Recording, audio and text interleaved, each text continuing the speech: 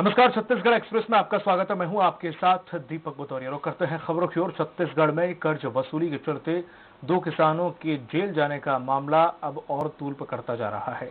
इस मामले पर भाजपा किसान मोर्चा द्वारा बनाई गई जाँच समिति बस्तर के लिए रवाना हो गई है। ये जाँच समिति गिरफ़्तार हुए दोनों किसानों से बात करेगी। वहीं जाँच दल पाँच संभागों में किसानों से भी बात कर प्रदेश अध्यक्ष को अपनी रिपोर्ट सौंपेंगी। वसूली के चलते दो किसानों के जेल जाने का मामला अब गर्मा गया है। राजनीति इस भी इसमें अब कर हो रही है। इस तरीके से कल अजीत जोगी ने इस पर सवाल उठाया था। अब इस पर जो किसान मोर्चा भाजपा का है, उन्होंने कमेटी बनाई है और कमेटी बस्तर में जाकर जाँच करेगी और जो कर्ज माफ़ी की हकीकत है उसको भी जानने की कोशिश करेगी। तो अभी आप देख सकते हैं जो टीम के सदस्य हैं जो प्रदेश किसान मोर्चा के अध्यक्ष हैं पूनम चंद्राकर उनकी अध्यक्षता उन, उन्होंने कमेटी बनाई है और इस कमेटी कुछ देर बाद रायपुर से यहाँ पर रवाना होगी सीधे बस्तर जाएगी वहाँ पर जाँच करेगी। हमारे साथ प्रदेश महामंत्री हैं उनसे बात करते हैं। ये जाँच कमेटी बनाई गई थी। कर्ज माफ़ी की बात लगातार सरकार कर रही थी, लेकिन दो किसानों को जगदलपुर के जेल भेजा गया। किस तरह देखते हैं, क्या कुछ वहाँ पर जाना जाएगा? हकीकत को तो किसानों से भी बात की जाएगी। दो किसानों को तो जेल भेज दिया गया है। बहुत सारे किसान जेल के दरवाजे तक पहुँच गए हैं। पूरे प्रदेश में अराजकता की स्थिति है। बहुत उम्मीदों के साथ सरकार का गठन किया गया था। सरकारों भूपेश सरकार के लिए बहुत लोगों ने खुलकर के मतदान किया। प्रचंड बहुमत के साथ इन लोगों ने सरकार बनाया, लेकिन उसी तरीके से पूरे देश, पूरे प्रदेश भर में अराजकता की स्थिति भी आज निर्मित हो गई है। बहुत सारे मोर्चों पर ये लोग फेल हैं, लेकिन किसानों के मामले में तो इन लोगों ने जिस प्रकार से किसानों को धोखा दिया, आज पच्चीस हज़ार करोड़ रुपए की आवश्यकता है किसानों की कर्ज माफ़ी के लिए। लेकिन आज दस हज़ार करोड़ रुपए की व्यवस्था जो इन लोगों ने बनाई है, ये अपने आप में शर्मनाक है, किसानों के साथ धोखा है। पूरे प्रदेश भर में किसानों के साथ जो अघोषित बिजली कटौती हो रही है, हमारे आंदोलन की रूपरेखा उस पर भी बन रही है किसानों की फ़सल बर्बाद हो रही है। हम सब लोगों ने ये इस बात को बहुत गंभीरता से महसूस किया है इसलिए हमारा अध्ययन दल पूरे प्रदेश भर में दौरा करके किसानों की स्थिति को जायजा लेने के लिए हम लोग निकल रहे हैं। तो आप भी समिति में हैं क्या कुछ वहाँ पर जाना जाएगा? किसानों से भी बात की जाएगी क्या? इसके अलावा कल एक बात अजीत जोगी ने कही थी कि मार्च से ये गिरफ्तारियाँ शुरू हो गई थी। उनके भी मरवाही में ऐसी तरह की शिकायतों मिलने को देखी देखिए ऐसा कोई सगा नहीं जिसे कांग्रेस ने ठगा नहीं। कर्ज माफ़ी की बात कर कर वोट बटोर लिया, सरकार बना लिया। अब ऋण माफ़ी किसी प्रकार का हो नहीं रहा है। सबसे ताज़ा उदाहरण जगदलपुर का तो है। इसके साथ साथ पूरे प्रदेश में जिस प्रकार से किसानों को नोटिस मिल रहा है घर घर वहाँ पे बैंक के अधिकारी तस्दीक कर रहे हैं। मतलब मामला पूरी तरह साफ़ है। कि किसी प्रकार का कर्ज माफ़ी हुआ नहीं है, किसानों को छल दिया गया, किसानों को ठग दिया गया, सरकार के पास इतना पैसा नहीं है कि बैंकों में उस चीज़ को दे सके। बेमे तरह में देखिए, तीन सौ छत्तीस करोड़ रुपए की राशि बची है। ये सारी चीज़ें इस बात पर इशारा कर रही है कि कर्ज माफ़ी के नाम पे एक बड़ा धोखा यहाँ पे हुआ है। किसानों की आँखों में धूल झोंका गया है। और ये सारी बातों की वास्तविक हकीकत जानने के लिए आज बस्तर का हम दौरा कर रहे हैं। समस्त जिलों का दौरा करेंगे, किसानों की वास्तविक हकीकत जानेंगे और किसानों के साथ में भारतीय जनता पार्टी निश्चित तौर पर खड़ी है। ये लड़ाई अब सड़क से सदन तक लड़ी जाएगी और कर्ज माफ़ी के नाम पे जिन लोगों ने यहाँ पर किसानों को ठगा है, निश्चित तौर पर ऐसे लोगों को बेनकाब किया जाएगा। जाँच समिति बस्तर में जाकर वहाँ पर जाँच करेगी। इसके अलावा प्रदेश भर के अलग अलग जिलों में जाएगी और जो कर्ज माफ़ी की वास्तविकता है, उसको भी जानने की कोशिश करेगी। उसके बाद जाँच टीम अपनी जाँच वापस करके जो प्रदेश अध्यक्ष हैं भाजपा के, उनको रिपोर्ट सौंप देगी। तो जिस तरीके से मामला इसमें गरमाया है, कहीं ना कहीं अब राजनीति चरम पर है। कैमरामैन जगन्नाथ के साथ हेमंत शर्मा, स्वराज एक्सप्रेस, रायपुर।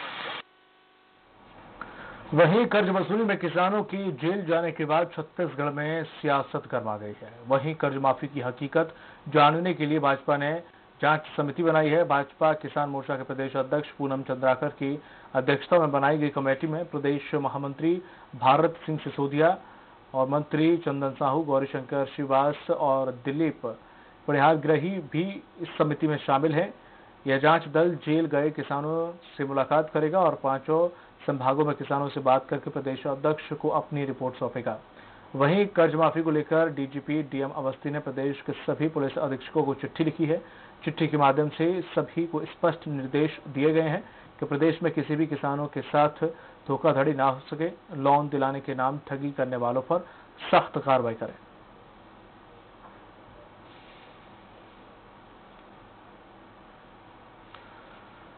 बस्तर में आज नक्सलियों के दंडकारण्य बंद के आह्वान का असर अब अंदरूनी क्षेत्रों में भी बस्तर के देखने को मिल रहा है। रेल प्रशासन ने भी सुरक्षा के लिहाज से किरंदुल से विशाखापट्टनम तक चलने वाली पैसेंजर ट्रेन के परिचालन पर रोक लगा दी है। साथ ही लोह अयस्क लेकर विशाखापट्टनम जाने वाली मालगाड़ी के रात परिचालन के समय में भी परिवर्तन किया गया है। दरअसल नक्सली अपने बंद के दौरान हमेशा से ही के के रेल मार्ग को अपना निशाना बनाते आए हैं। जिसे देखते हुए रेल प्रशासन ने पहले ही सतर्कता बरतते हुए निर्णय लिया है। इसके अलावा अंदरूनी इलाकों में चलने वाले छोटे सवारी वाहनों की आवाजाही भी बंद के चलते प्रभावित हुई है।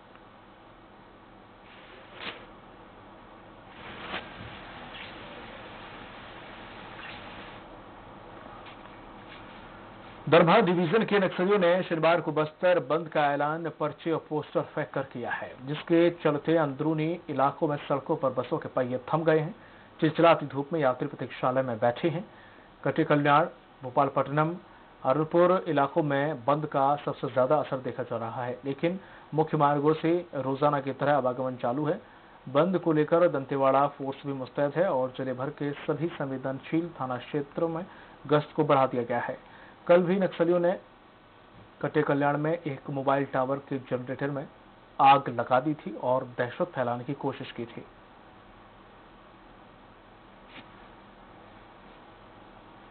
आसपास पूछे जा रहा है, कोई नक्सलियों का जो बंद कर रहा है, उस विषय में बताया जा रहा है कि पिछले दो घंटों से जो बस आने वाली थी नहीं आ पाई है। हम काफ़ी देर से वेट कर रहे हैं।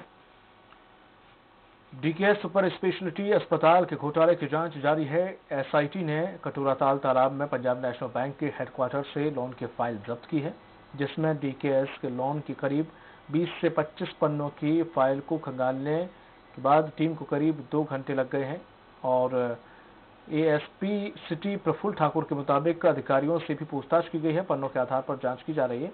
लोन देने के मापदंडों का पालन किया गया है या फिर नहीं। जिसके लिए दस्तावेजों का परीक्षण किया जा रहा है। कल दोपहर दो बजे पुलिस की टीम ने बैंक के अधिकारियों से भी पूछताछ की थी।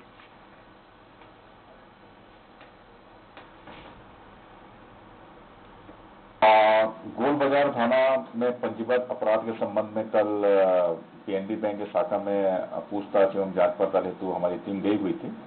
वहाँ से लोन प्रस्ताव और लोन स्वीकृति से संबंधित कुछ दस्तावेज़ की परीक्षण किया गया है और कुछ दस्तावेज़ की जब्ती भी की गई है वहाँ बैंक में जो भी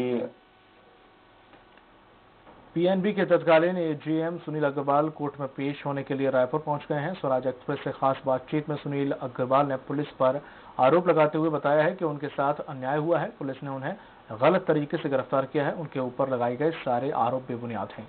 मैं जाँच में पूरा सहयोग करूँगा। पंजाब नेशनल बैंक के डीजीएम सुनील अग्रवाल हमारे साथ मौजूद है।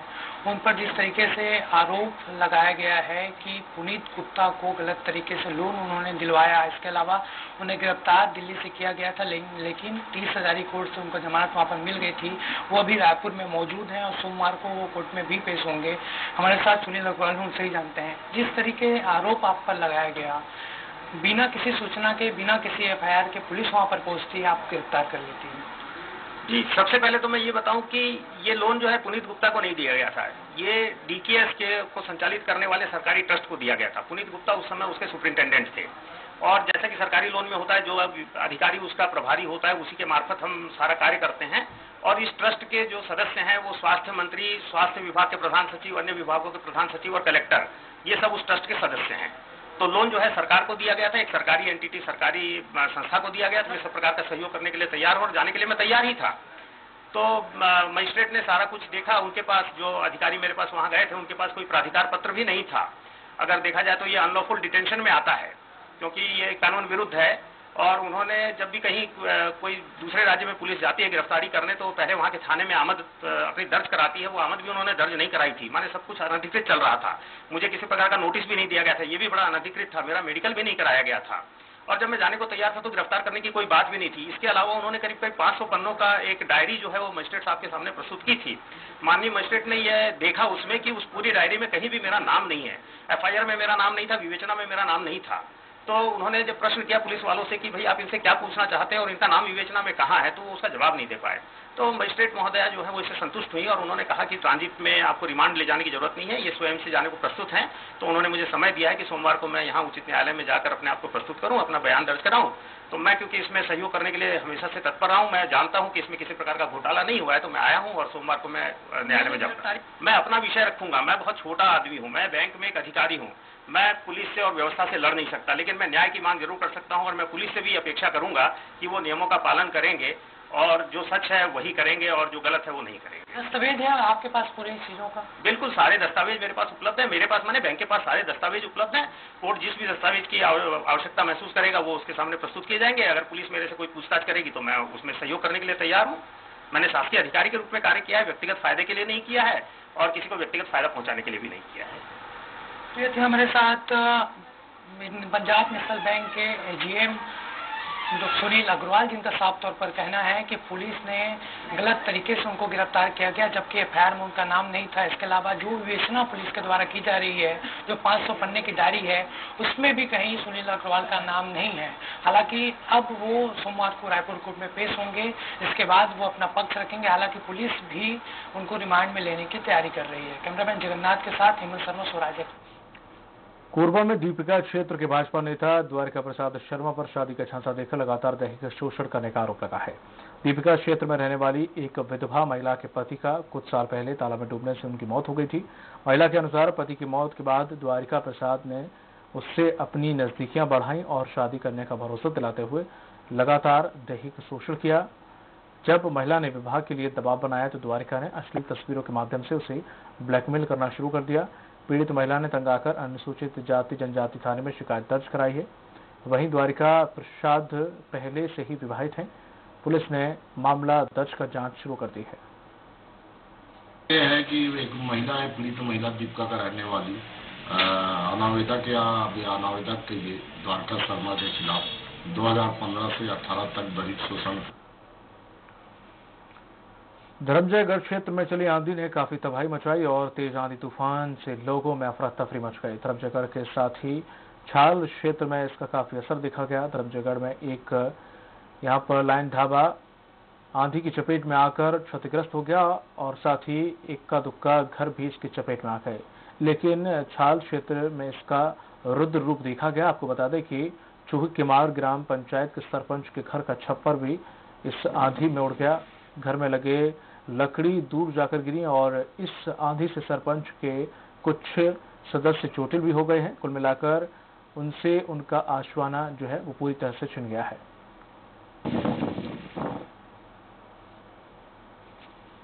पति हूँ। अपना घर जो अभी आंधी तूफ़ान आया उसमें उड़ा कर ले गया जितने भी नुकसान हुआ है, लकड़ी वगैरह सीट सब नीचे गिर गया अपनी मम्मी को भी चोट लगा है। इसके मैं शासन प्रशासन से मुआवजा चाहता हूँ राजधानी रायपुर के डीडी नगर इलाके के शहनाई गार्डन के पास एक नवजात बच्ची का आज लावारिस हालत में वो मिली है बच्ची। सुबह सैर सपाटे पर लोग निकले थे तो बच्ची की आवाज़ रोने की सुनी तो तुरंत ही पुलिस को सूचना दी गई। नवजात शिशु एक दिन का है। बच्ची के पूरे शरीर पर चीटी और कीड़े लगे हुए थे। आसपास के लोगों से जानकारी मिली कि अज्ञात लोग बच्ची को झोले में रखकर लाए थे और इसे सड़क के किनारे छोड़कर भाग गए। आसपास के लोगों ने डायल 112 हेल्पलाइन नंबर पर जैसे ही खबर दी, वैसे ही पुलिस मौके पर पहुँची और बच्ची को अंबेडकर अस्पताल में भर्ती कराया, जिसका इलाज अभी भी जारी है। नवजात के माता पिता के बारे में अभी कोई जानकारी हासिल नहीं हो पाई है। वही पुरानी बस्ती सीएसपी कृष्ण कुमार पटेल ने कहा है कि आसपास के लोगों के द्वारा सूचना मिली, जिसके बाद यहाँ पर पहुंचकर बच्ची को अस्पताल में भर्ती कराया गया।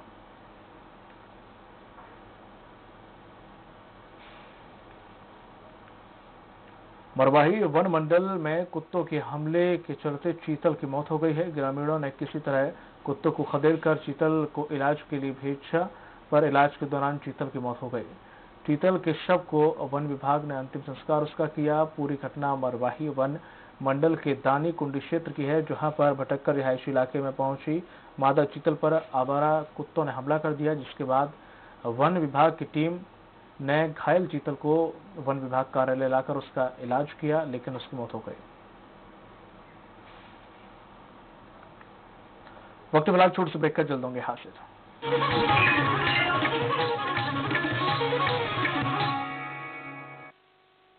ये हर पल खास, सुमित ज्वेलर्स के साथ, जहाँ मिलती है नई सौगात, हर परचेज के साथ, सुमित ज्वेलर्स हम गढ़ते हैं विश्वास। क्या बात है? आज आप दोनों बड़े खुश नज़र आ रहे हो। भाई कहाँ से आ रही है सवारी? काका हम लोग वोट डाल के आ रहे हैं। कार से? हाँ काका कार से। निर्वाचन आयोग ने लोकसभा निर्वाचन में हमें दिव्यांग मित्र के साथ घर से मतदान केंद्र तक लाने और छोड़ने की सुविधा प्रदान की है। इतना ही नहीं काका। मतदान केंद्र पर हमें लाइन में भी नहीं लगना। बिना इंतज़ार किए सीधा मतदान करना है। साथ ही आयोग ने हमारे लिए पीने का पानी शौचालय व्हील चेयर रैम्प इत्यादि की भी व्यवस्था कराई है। काका एक बात बताइए। आपने वोट डाला कि नहीं? हाँ बेटा मैंने सुबह सात बजे ही सबसे पहले अपना वोट डाला था। अरे वाह काका इसका मतलब आप भी देश के जिम्मेदार नागरिक हैं। याद रहे इस महा त्योहार। एक भी वोटर छूटे ना। आशीर्वाद के रूप में इससे सुंदर और प्यारा कुछ हो ही नहीं सकता। मैं तो ये कहूँगी कि आपकी हर पीढ़ी विश्वास कर सकती है इन पर। Anupchand Tilokchand jewellers at a symbol of trust बनाइए हर पल खास सुमित ज्वेलर्स के साथ जहाँ मिलती है नई सौगात, हर परचेज के साथ। सुमित ज्वेलर्स हम गढ़ते हैं विश्वास।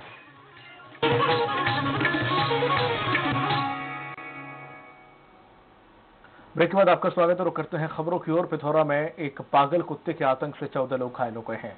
गर्मी के कारण कुत्ता पागल हो गया, और इसी के चलते कुत्ते ने चौदह लोगों को काट लिया है। जिनका सरकारी अस्पताल में इलाज कराया गया तो वहीं पागल कुत्ते ने हॉस्पिटल में भी दस लोगों को अपना शिकार बना दिया है। हालाँकि पागल कुत्ते को पकड़ने की कवायद की मगर जब कुत्ता पकड़ा नहीं गया तो उसे फिर जान से मार दिया गया। पिथौरा मेडिकल दवाई लेने के लिए आया था और दवाई लेकर के यात्री प्रतीक्षालय होते हुए जा रहा था और वहाँ पर वो कुत्ता बैठा हुआ था। मेरे को देख करके दौड़ करके मेरे काट स्टोर जा रही थी तो मुझे स्टोर के पास एक कुत्ते ने मेरे पैर में काट दिया। मैं राजू सेवैया की रहने वाली हूँ। फिर मेरे दादा ने मुझे हॉस्पिटल लाया और मेरे दादा ने मुझे यहाँ इंजेक्शन लगाया अभी मैं हॉस्पिटल में सर जा रहा था थाना से तो सादा कुत्ता ने मुझ पर मेरे पास में आज मैं सरकारी अस्पताल में इलाज कराने के लिए आया कितने लोगों को काटा है? दो आदमी को काटे मतलब मेरे साथी को जो भी बच्चे के पास। चौदह लोगों को डॉग के केस आ चुके हैं। सबको वैक्सीन लगाया जा चुका है जिसमें से आठ आठ के केस हैं बाकी पुराने सेकेंड और थर्ड डोज वाले केसेस हैं। और इसमें से दो लोग ऐसे हैं जो सेकेंड और थर्ड डिग्री बाइट था तो उनको हीमोग्लोबिन भी लगाया गया है। अभी भी वैक्सीन अवेलेबल है हमारे पास। तो सुबह से कितने लोगों को आपने वैक्सीन लगाया है? आज सुबह से चौदह लोगों को मरवाही के अंडे गाँव में अचानक एक भालू आ गया और जो बालक छात्रावास में घुस गया जिसके बाद लोगों ने शोर मचा दिया और वन विभाग को तत्काल जानकारी दी। जानकारी लगते ही वन विभाग की टीम मौके पर पहुँच गई जिसके बाद लोगों की आवाज़ सुनकर भालू छात्रावास की दीवार फांदकर जंगल की ओर भाग गया। हालाँकि गनीमत ये रही कि छुट्टी के कारण आवास में छात्र नहीं थे वरना एक बड़ा हादसा भी हो सकता था।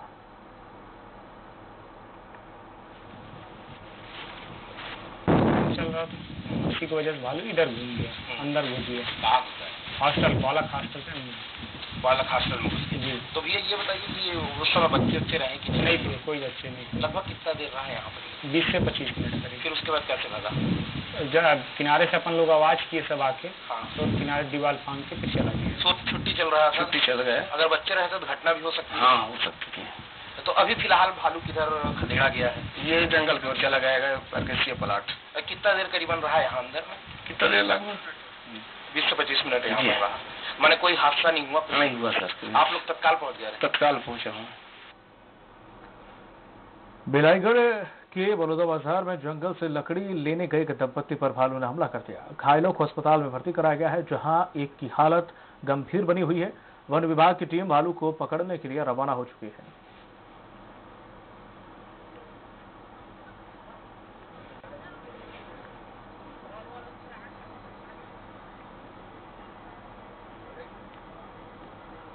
रायपुर में दो कलयुगी बेटों ने अपने पिता को प्रताड़ित कर कोरो चेक, जो कोरा चेक होता है, उस पर हस्ताक्षर कराकर 12 लाख रुपए हड़प लिए हैं और अपनी पत्नी और बच्चों के नाम ट्रांसफ़र करा लिए।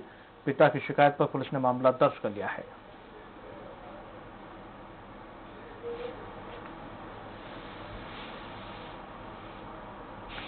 छत्तीसगढ़ के अंबेडकर अस्पताल की व्यवस्था हमेशा ही सवालों के घेरे में रही है।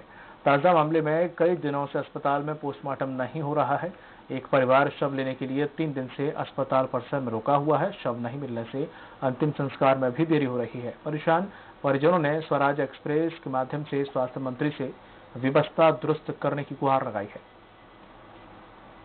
मैं मेकारा हॉस्पिटल के शव परीक्षण केंद्र में। जहाँ सूचना मिली है कि लाश यहाँ पे ये दो दो तीन तीन तीन दिनों तक है और उसका पोस्टमार्टम का निरीक्षण नहीं किया गया है। पर, परिजन पहले से ही परेशान होते हैं और उन्हें जानबूझकर इस तरह परेशान किया जा रहा है। तो इस वक्त हमारे साथ कुछ परिजन हमारे साथ है। आइए जानते हैं उनको किस तरह समस्या हो रही है और कब आए हैं। जी आप कहाँ से आए हैं? मैं रायपुर लोधीपाल से। एक पड़ोसी है गुप्ता परिवार। उनकी लड़की मतलब सुसाइड कर ली थी। तो ये कल दोपहर में सवाया मरचूरी में लाया गया था। लेकिन कल तो नहीं हो पाया लेकिन आज भी साढ़े पाँच पौने छः बजे जा रहा है।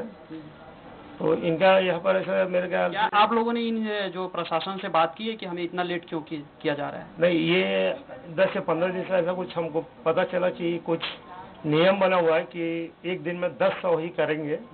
या पाँच बजे तक ही करेंगे। ऐसा करके यहाँ का नियम बना हुआ है। हमारे साथ और यहाँ पे और परिजन है जो अपने शौ लेकर आए हैं यहाँ पे। ये उनका क्या कहना है? ये कहाँ से आए हैं सर मैं आरबेज कॉलोनी जागृति नगर से आया हूँ रायपुर छत्तीसगढ़ से। कब से आए हैं यहाँ पे? सर मैं सवेरे ग्यारह बजे से यहाँ पे हूँ और कल पाँच साढ़े पाँच बजे आके हम लोगों ने यहाँ दिए हैं। मेरे पिताजी जो डेथ हो गए थे तो उनको यहाँ पे किए बोले कि सवेरे तुम आके ले जा सकते हो बोल के। तो उन्हीं के साथ फिर वहाँ पे थाना पे हुआ, जो भी लिखा पड़ी फिर उनके साथ आए हम लोगों ने ग्यारह बजे के आसपास। ग्यारह बजे से सर एक गिलास पानी नहीं पिया, हम लोग अभी तक बैठे कि अब मिलेगा अब मिलेगा बोल के। अभी तक मिले ही नहीं है सर।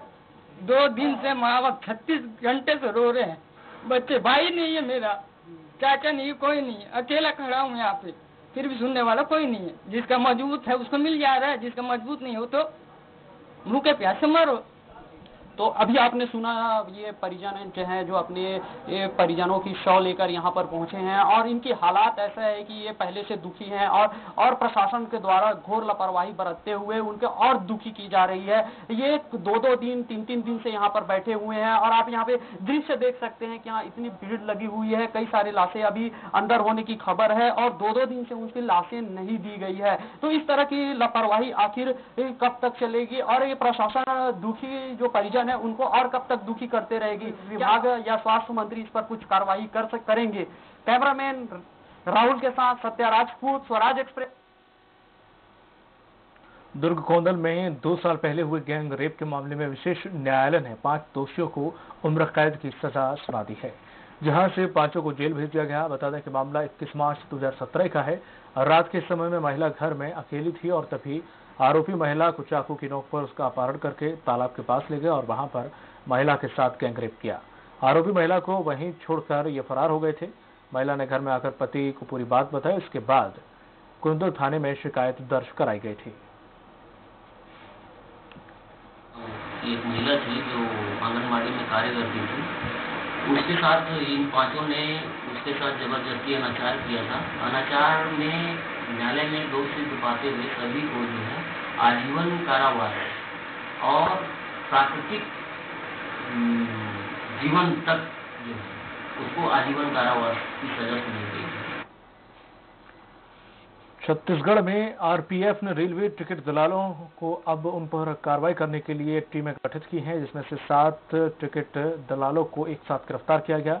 टिकट दलालों के लिए बारह टीमों का गठन किया गया है, जिसमें से टीम ने रायपुर, दुर्ग भिलाई और पावर हाउस में एक साथ दबिश दी। इस कार्रवाई में आरपीएफ के कमांडेंट अनुराग मीना ने बताया कि इस कार्रवाई में करीब चार लाख पचास हज़ार रुपए के टिकट बरामद हुए हैं। सभी दलालों के खिलाफ रेलवे एक्ट की धारा एक के तहत कार्रवाई की गई है। सारी पोस्टों को इंस्ट्रक्शन थे कि टाइम में जाएँगे और अलग अलग जगह पे जो कि हम दो तीन दिन से मतलब कि अपने जो जितने भी सोर्सेज थे, उनसे हमने पता लगाया कि कौन कौन इस तरह के काम कर रहे हैं। वहाँ पे एक साथ हमने रेड किया। जिसमें हमने सात केस रजिस्टर किए हैं, सात टाउट को गिरफ़्तार किया है और अब तक लगभग साढ़े चार लाख के ऊपर के टिकट हमने जब्त